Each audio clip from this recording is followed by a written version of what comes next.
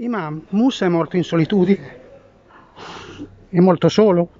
No, solo, ma speriamo che non è, non è da solo, beh, siamo tutti con lui, siamo tutti, e noi lottiamo per quella, quella dignità che lui ha voluto, quella bella vita che lui ha voluto.